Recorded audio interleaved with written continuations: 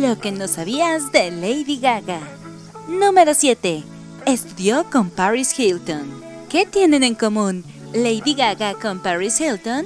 Además de ser conocidas, pocos saben que compartieron la misma educación. Estas y otras famosas pasaron por las salas de un exclusivo colegio privado católico femenino. Desde los 11 años hasta los 17, Lady Gaga estudió en el convento del Sagrado Corazón, hasta que decidió abandonarlo por sufrir bullying por parte de sus compañeros debido a que era muy excéntrica y provocativa, según ha dicho en varias entrevistas.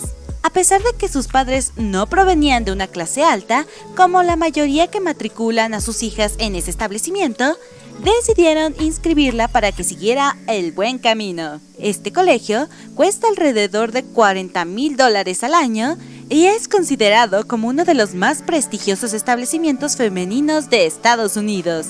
Es por eso que no es de extrañar que varios famosos y provenientes de la socialite neoyorquina hayan pasado también por ahí. Número 6. Su cabello rubio.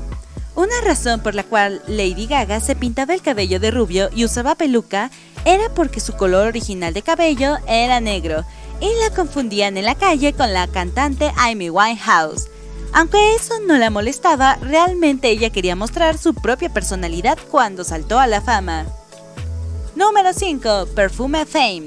Su perfume Fame fue una increíble novedad en la industria de las fragancias, ya que ella quería que el perfume fuera negro dentro de la botella, pero transparente al rociarse. Al final su equipo lo logró. Número 4. Tatuajes del lado izquierdo. Sus tatuajes se encuentran en el lado izquierdo de su cuerpo.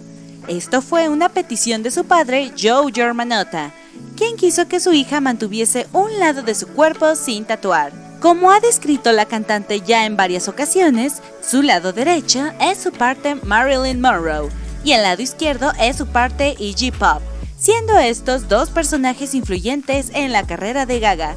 Sin embargo, esa promesa hacia su padre fue incumplida a mediados del 2014, cuando se tatuó una trompeta en su brazo derecho en honor a Tony Bennett.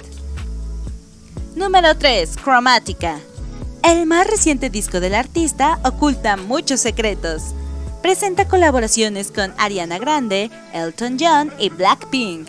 Gran parte del álbum fue grabado en su casa en California. Lady Gaga asegura que este álbum es el trabajo más sincero que hizo y que nunca olvidará el proceso de creación. Chromatica celebra la inclusión y la vida, por lo cual el concepto visual del disco abarca todos los colores de la escala cromática. Número 2. Padece de fibromialgia. Se trata de una enfermedad crónica que se caracteriza por dolor musculoesquelético generalizado, con una hipersensibilidad en diferentes áreas corporales y puntos predefinidos que concentran mayor malestar, como podrían ser en el cuello, la espalda, los hombros, la cadera, los brazos o bien las piernas. Gaga habla de la enfermedad que sufre en el documental de Netflix que ella misma protagoniza, Five Foot Two la cantante ha anunciado en su perfil personal de Instagram que planea tomar la lucha con fuerza no solo para aumentar la conciencia, sino para ampliar la investigación hacia otros que sufren como ella para que se pueda ayudar a generar una diferencia. Número 1. Escribió canciones para otros artistas. Lady Gaga no solamente sabe cantar bien, también compone canciones y ha escrito algunas para artistas conocidas como Britney Spears, Pussycat Dolls y Fergie.